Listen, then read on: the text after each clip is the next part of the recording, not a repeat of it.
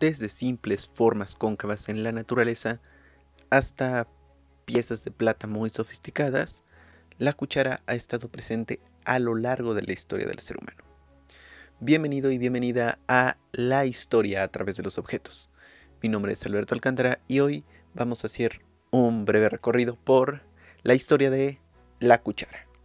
La cuchara se ha utilizado casi desde el inicio de la especie humana. Incluso, quizás hasta los primates se apoyan de formas naturales que proveen la funcionalidad que una cuchara puede otorgar. Las evidencias arqueológicas indican que desde el Neolítico, hace 4 millones de años, se han empleado formas naturales que apoyen en la tarea de llevar alimentos a la boca. Los egipcios empleaban objetos similares a los que calificaríamos como una cuchara e incluso ya presentaban un mango eran hechas de marfil, pedernal o madera, y eso fue hace unos 3.000 años. Mientras que en China, durante la dinastía Shang, aproximadamente en el año 1766 a.C., empleaban utensilios parecidos a las cucharas, pero elaboradas de hueso. Los griegos y los romanos realizaban utensilios que tendrían la función de una cuchara, pero a diferencia de los materiales anteriores, ellos las hicieron con bronce y plata, siendo común esta clase de utensilios hasta la Edad Media Europea. La primera evidencia de la palabra cuchara quizá está en un documento en Inglaterra fechado en 1259, donde se encontró como un elemento del itinerario del guardarropa del rey Eduardo I.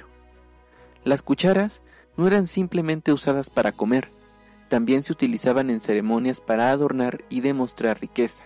Por ejemplo, la coronación de cada rey británico fue precedida por un ritual donde el nuevo monarca sería ungido por una cuchara ceremonial.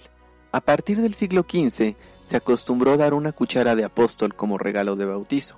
Esta práctica prevaleció en casi todas las clases sociales de la religión católica. Solo variaba el material con el que se realizaban, plata o oro para las clases altas y cobre o latón para las clases bajas, mientras que la cuchara cotidiana para comer para la población europea casi siempre tendía a ser de madera.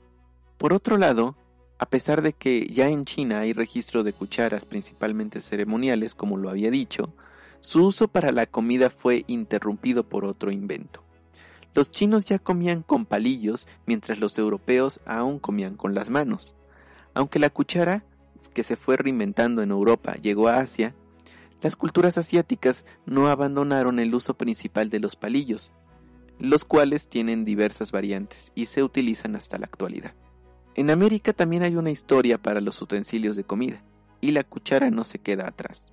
Hay evidencias arqueológicas de utensilios de cerámica utilizados en el México prehispánico que tenían más o menos la función de una cuchara, y es que en realidad no eran cucharas, sino eran unos cuencos que en ocasiones presentaban un mango ahuecado por donde los alimentos líquidos se podían tomar o sorber.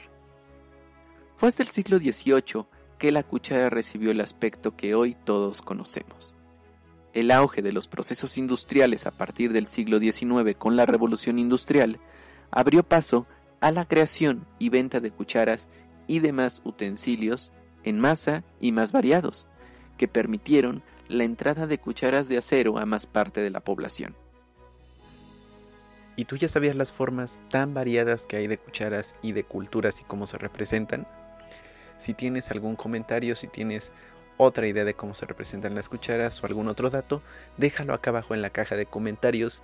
Si te gustó este video, dale like, suscríbete, activa las notificaciones para que no te pierdas ningún otro video de la serie de La historia a través de los objetos.